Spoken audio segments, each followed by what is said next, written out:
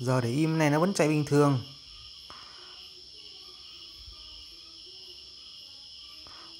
Mà cứ đeo lên đi xe máy là nó sóc sóc sóc, sóc này này.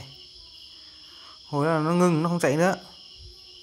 Không chạy nó mở ra mình lại sóc sóc ngược lại nó lại chạy. Bữa nọ là cái bán nguyệt này nó bị bị cấn ở cái nắp ấy Rồi em tháo ra rồi. Máy thì chưa mở.